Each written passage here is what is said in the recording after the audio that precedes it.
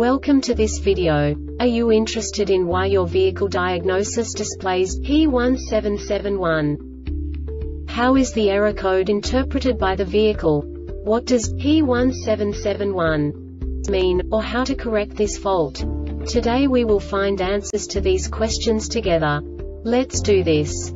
First, let's look at the history of diagnostic fault code composition according to the OBD2 protocol, which is unified for all automakers since 2000. We divide the electric system of automobile into the four basic units. Powertrain, body, chassis, network. This distribution is defined in the first character code. If the second character is expressed as zero, it is a standardized error. In the case of numbers 1, 2, 3 it is a more prestigious expression of the car-specific error. The third character specifies a subset of errors. The distribution shown is valid only for the standardized DTC code. Only the last two characters define the specific fault of the group. Let's not forget that such a division is valid only if the other character code is expressed by the number 0. Our website airbagreset.sk produces useful videos for you. You do not have to go through the OBD2 protocol anymore to know how to troubleshoot any car breakdown. You will find all the diagnostic codes that can be diagnosed in a Dodge vehicles. Also many other useful things. The following demonstration will help you look into the world of software for car control units. You unbelievably can move the video a bit further. The error code is split into two bytes consisting of 16 bits.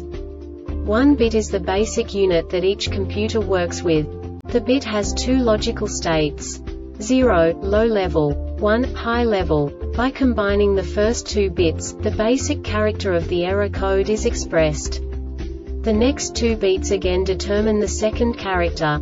The last beat styles of the first byte define the third character of the code. The second byte is composed of a combination of 8 bits. The first 4 bits determine the fourth character of the code. And the combination of the last 4 bits defines the fifth character. A single byte conceals 256 possible combinations. We now know in what way the diagnostic tool translates the received information into a more comprehensible format. The number itself does not make sense to us if we cannot assign information about it to what it actually expresses. So, what does the diagnostic trouble code P1771 interpret specifically Dodge car manufacturers? The basic definition is Lost communication with steering angle sensor module. And now this is a short description of this DTC code.